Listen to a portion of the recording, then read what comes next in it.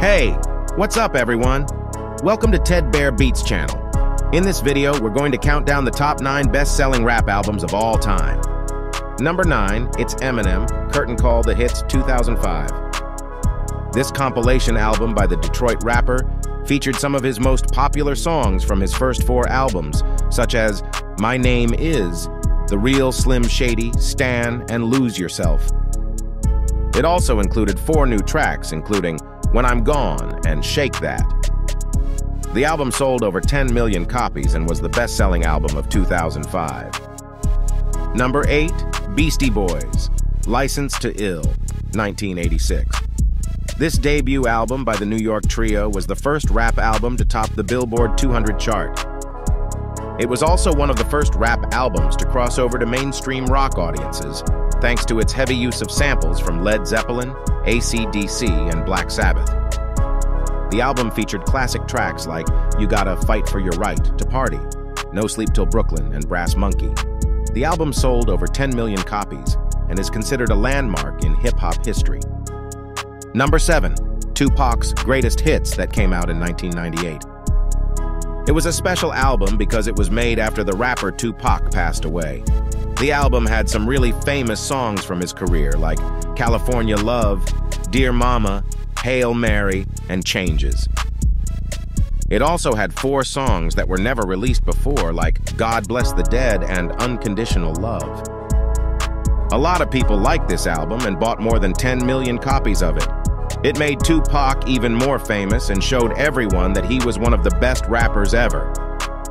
Number 6. Again, it's Tupac's All Eyez on Me, 1996. This double album by the West Coast legend was his first release after signing with Death Row Records. It was also his last album released before his death in September 1996. The album featured guest appearances from Snoop Dogg, Dr. Dre, Nate Dogg, and more. It also spawned several hit singles, such as How Do You Want It, I Ain't Mad At, and two of America's Most Wanted. The album sold over 10 million copies and is widely regarded as one of the best rap albums ever made. Number 5. Lauryn Hill, The Miseducation of Lauryn Hill, 1998. This debut solo album by the former Fugees member was a groundbreaking work that blended hip-hop, soul, reggae, and R&B. It showcased Hill's skills as a rapper, singer, songwriter, and producer. The album featured guest appearances from D'Angelo, Mary J. Blige, Carlos Santana, and more. It also spawned several hit singles, such as Doo Wop, That Thing, Ex-Factor, and Everything is Everything. The album sold over 10 million copies and won five Grammy Awards, including Album of the Year. Number 4. Nelly, Country Grammar, 2000. This debut album by the St. Louis rapper introduced his unique style of blending rap with pop hooks and country influences. It also put his hometown on the map as a hip-hop hotspot. The album featured guest appearances from Lil Wayne, Cedric the Entertainer, Murphy Lee, and more. It also spawned several hit singles such as Country Grammar, EI, Ride With Me, and Batter Up. The album sold over 10 million copies and was one of the best-selling albums of the decade.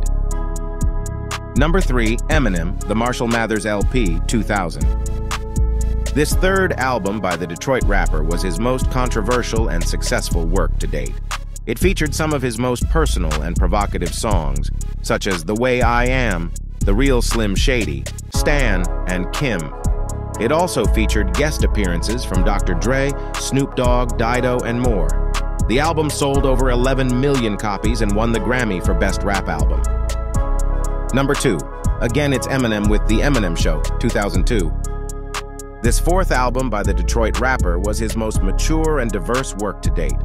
It featured some of his most introspective and political songs, such as White America, Cleaning Out My Closet, Sing for the Moment, and Lose Yourself. It also featured guest appearances from Dr. Dre, Nate Dogg, D12, and more.